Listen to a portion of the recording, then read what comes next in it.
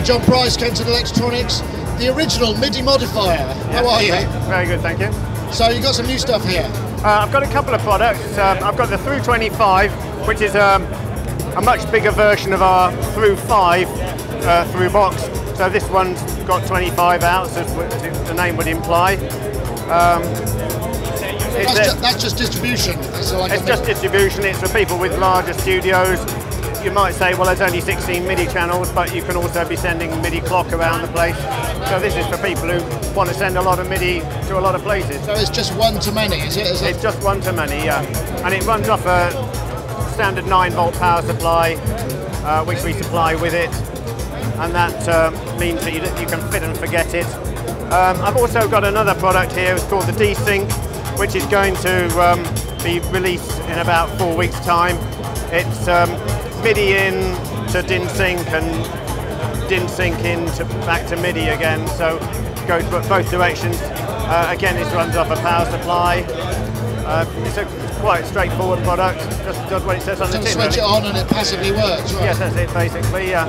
I've got another version I'm kind of working on, which is, uh, this is very much a prototype. Um, and looks a bit like it really, but it's, um, it's, it's, the same sort of thing. It's got the DIN sync conversion from MIDI both ways, but it's got a, a knob on it as well, which you can use to introduce swing or shuffle into the into the DIN sync. So if you've got an 808 or something, you can actually make it swing, and you can add the amount of swing depending on the position of the pot.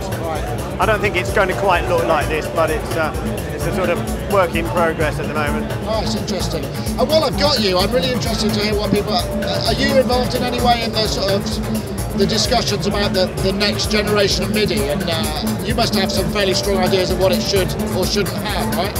I've um, uh, when I was at NAMM, there was a bit of discussion about this, but actually I don't really know an awful lot about it. I'm not really party to it.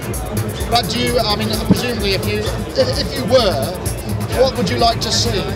Well, obviously higher speeds uh, are going to be useful to people.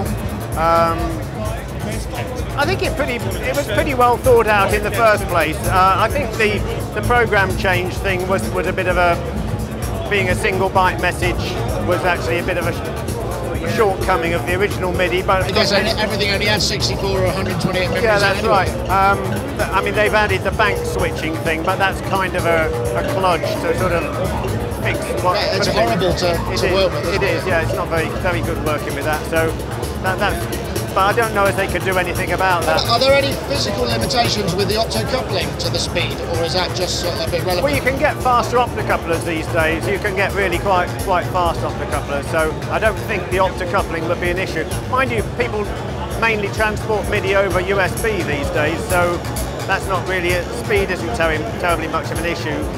With with faster USB speeds, you can send it around really very fast.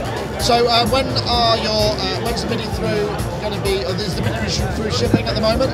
Well, the Thru 25 is already available. The the DIN sync that should be about a month. It's it's basically ready. It's just got to go into production. Um, this sometime later. Uh, yeah, so I understand. A couple, of, a couple of months away or something. John, thank you very much. Thank you very much indeed.